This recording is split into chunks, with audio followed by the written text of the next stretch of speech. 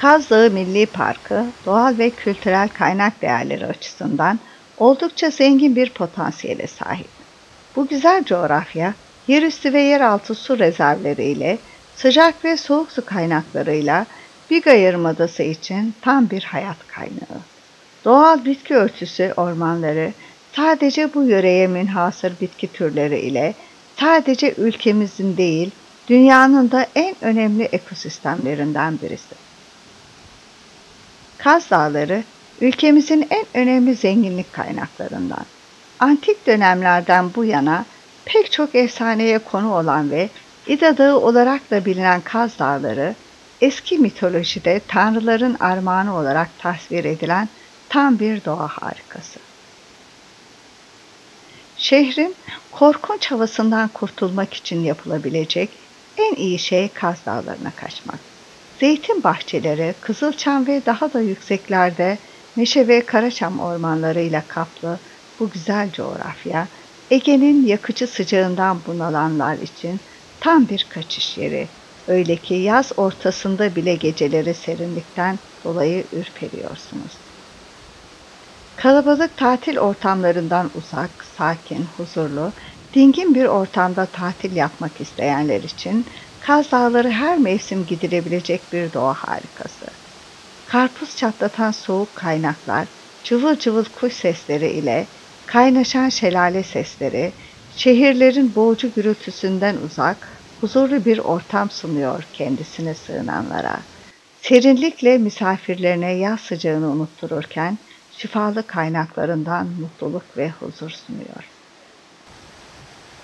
Kaz Dağları, kendine özgün zengin doğası, kültürel zenginlikleri, kanyon ve şelaleleri, derin vadi ve nehirleriyle ekoturizm adına tam bir cennet. Deniz, güneş, kum üçlüsü dışında tatil ve keşfetmenin ülkemizdeki en güzel rotalarından birisidir. Mitolojik öykülerin ana yurdu, dağların bağrında saklı köyleri ziyaret etmek bambaşka güzel duygular olacaktır. Kaz Dağı Milli Parkı, Kaz Dağları ile kastedilenden farklı ve onun içerisinde bir alan olarak büyük ölçüde güneyde Edremit Körfezi, doğuda Zeytinli Çayı, kuzeyde Kara Menderes Çayı ve batıda Mıhlı Çayı arasında kalan ve 21.452 hektarlık bir alanı tanımlıyor. 1994'ten bu yana milli park olan Kaz Dağları'nın jeolojik konumu nedeniyle oluşmuş ilginç bitki örtüsü, iklim ve toprak yapısı sayesinde bu bölge devamlı olarak yüksek oranda oksijen üretiyor. Havası tertemizdir. Biga Yarımadası'nın en yüksek dağı olan Kaz Dağı ya da Kaz Dağları olarak isimlendirilen dağ silsilesi Marmara bölgesinin de Uludağ'dan sonra en yüksek ikinci dağıdır. Alanın en yüksek kesimleri 1774 metre rakımlı Karataş, 1765 metre rakımlı Babadağ Tepe ve 1726 metre rakım ile Sarıkız Tepe'dir. 1994 yılında Bakanlar Kurulu kararı ile 20.935 hektarlık bir alan milli park ilan edilmiş ve koruma altına alınmıştır. Kaz Dağı Milli Parkı, Kaz Dağı Milli Parkı biyolojik çeşitlilik olan flora ve fauna, endemik bitki türleri, orman ve su ekosistemleri, jeolojik ve jeomorfolojik yapı, mitolojik geçmiş ve çevresindeki geleneksel yaşam tarzı ile ulusal ve uluslararası düzeyde eşsiz öneme sahiptir. Bu özellikler Kaz Dağı Milli Parkı'nın önemli kaynak değerlerini oluşturmaktadırlar. Böylelikle Kaz Dağı'nın doğal bir hazine niteliğindeki jeomorfolojik özelliklerinin korunması, flora ve fauna varlığının devamının sağlanması, araştırılması ve gelecek kuşaklara aktarılması hedeflenmiştir. Doğudan batıya uzanan Kaz Dağı kütlesini, kuzey-güney istikametinde yaran derin vadi ve kanyonlar ve bu yapının ortaya çıkardığı farklı iklimsel koşullar, bitki ve hayvan varlığının zenginleşmesi açısından uygun yetişme ortamı imkanları sağlamıştır.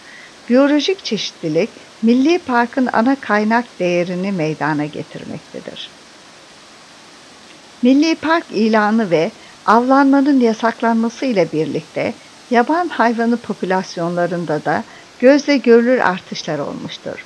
2003 yılında yapılan envanter çalışması verilerine göre alanın yüksek rakımlı kuzey bölgelerinde ve yerleşim yerlerine köy, kasaba gibi yakın alt bölgelerinde hayvan varlığı doğal olarak az miktarda, orta bantlarda ise bu bölgelere oranla daha fazladır. Bugüne kadar Kaz Dağı'nda 800 bitki taksonu tespit edilmiştir. Başta Kaz Dağı Göknarı olmak üzere 32 adet Kaz Dağı'na ait endemik tür bulunmaktadır. Bunun yanında Türkiye'nin endemik türü olan ve Kaz Dağı'nda yetişen 48 adet, endemik olmayan ancak Türkiye'de sadece Kaz Dağı'nda yetişen 15 adet tür bilinmektedir. Belirlenen en önemli hayvan türleri ayı, domuz, kurt, karaca, tilki, porsuk, sansardır. Bölgede yapılan araştırmada 10 ila 15 yıl öncesine kadar sırtlan ve vaşak gibi hayvanlar görülmesine rağmen bugün bu türlerin tükendiği anlaşılmıştır. Ayı, kurt ve karaca gibi türlerinde risk altında olduğu anlaşılmaktadır. Kaz Dağı ya da Kaz Dağları olarak iki biçimde adlandırılan dağ, büyük ölçüde Biga Yarımadası'nda uzanmaktadır. Kaz Dağları batıda Dede Dağı, ortada esas Kaz Dağı ve üç tepesi olan kuzeyde Baba Dağı, ortada Karataş Tepe, güneyde Sarı Kız Tepesi, doğuda Eybek Dağı, kuzeydoğuda Gürgen Dağı ve Koca Katran Dağı'ndan oluşur. Üç tepesi olan esas, Kaz Dağı'nın en yüksek tepesi 1774 metre olan Karataş Tepesi'dir ve Balıkesir'in Edremit ilçesi, Güre beldesinin kuzey kuzeybatı istikametine düşmektedir. Çanakkale'nin Bayramiç ilçesi, Ayazma Mesire yeri ise Kaz Dağı zirvesinin kuzeybatısına düşmektedir ve mesire yerine ulaşmak için Bayramiş'ten yaklaşık 17 kilometrelik Evciler beldesi yolunu takip eden Evciler'den sonra 6 kilometrelik yol aşılarak ulaşılabilir. Kaz Dağı çevresi büyük ölçüde ormanlar ile kaplıdır ve yakınında yerleşim oldukça seyrektir. Üst yokuşlardaki ormanlar başlıca Kaz Dağı Göknarı, Türkiye'de yalnızca Kaz Dağı'nda yetişen endemik bir göknar alt türüden oluşur. Dağın kuzey yamacında alt kesimlerde meşe ve bazı maki elemanları görülür. Daha yükseklere çıkıldıkça meşe, kestane, gürgen, meşe, karaçam görülür. Kayın da Kaz Dağı bitki örtüsünün önemli bir kısmını oluşturur.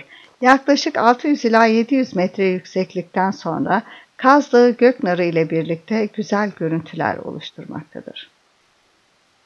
Bulunduğu geçiş iklimi ve yakın bölgedeki tek yüksek dağ olan ve ayrıca Biga Yarımadası'nda doğu-batı doğrultusunda uzanan dağ arazilerini kapsar. Kaz Dağları ve çevresinde anlatılan hikayeler, ritüeller ve çeşit çeşit inanışların temelinde miras olarak bir sonraki nesle kalmış, sentezlenmiş bir kültürün varlığını hissedilir. Batıdan Tuzla çayı ve Kara Menderes çayı, kuzeyden Gönen çayları doğar. Yarımada'daki önemli akarsulardan Kara Menderes ve Biga çayı ile çevredeki köy ve diğer yerleşim yerlerine içme suyu sağlayan küçük ölçekli kaynaklar bu dağdan doğmaktadır. Balıkesir Ezremit'te yer alan doğa temalı milli parkıdır. Marmara ve Ege bölgeleri arasında sınır oluşturan Kaz Dağı'ndan ismini alır. Bölgeye yerleşen bir halk, önceki halkların sözlü mirasına kendilerinden de eklentiler yaparak yeni yeni anlatılar ortaya çıkarmıştır. Milattan önce 7000'li yıllardan günümüze kadar motifler ortak olarak kullanılmıştır. Yöredeki milletler, dinler ve mezhepler sürekli değişmekle beraber değişmeyen havasından mıdır yoksa suyundan mıdır bilinmez insanların düşünce tarzı oldu. Mitolojide doğa şartları insan zihnini etkileyen en temel faktör olarak karşımıza çıkar. Yüksek ve heybetli bir dağ, denize akan bir nehir, bazen taşlık bazense bereketli bir toprak, Deniz ticareti yapmaya elverişli kıyılar. Troya, Sarıkız, Hasan Boğuldu anlatıları için son derece uygun koşullar yörede hazır bulunmaktadır. Kaz Dağı söylenceler açısından da oldukça zengindir. Adı antik Grek mitolojide İda olarak geçmektedir. Vejetasyon, Kaz Dağları ekosisteminin fiziki faktörlerinin kombinasyonu olarak ortaya çıkmıştır. Vejetasyon Kaz Dağları ekosistemini baştan başa kaplayan yeşil bir örtü gibidir. Yılın her mevsiminde dağlar yeşil rengin hakim olduğu manzarasını korur. Bu durum Kaz Dağları ekosistemine ayrı bir özellik kazandırır. Orman daima yeşil, maki her zaman yeşildir. Kurak dönemin etkili olduğu bu mekanda yeşil peyzajın bütün yıl devam etmesi çok az rastlanan bir durumdur. Milli bir park olan Kaz Dağı'nın koruma altındaki doğası içinde dağ ve denizin iç içe geçtiği avantajlı bir noktada bulunan Güre alternatif turizme imkan sağlıyor. Uzun Güre sahili boyunca her yerde denize girmek mümkün. Kaz Dağları'nın yeşili sahilde Ege'nin masmavi deniziyle buluşur. Güre Belediyesi'nin yapmış olduğu yürüyüş yolu ile istediğiniz yerden denize girebilirsiniz. Güre çevresinde birçok doğa güzelliği yer alıyor. Geniş vadiler arasında çam, söğüt, ıhlamur ağaçlarının yoğun bulunduğu bölgelerin başında Pınarbaşı gelmektedir. Pınarbaşı piknik yapabileceğiniz mesire yeri. Pınarbaşı Güre'ye gelmeden Taşköprü mevkiinden kıvrılarak buraya ulaşabilirsiniz. Güre'de kanyon ve şelaleleri keşfetmek yapabileceklerinizden sadece bazıları.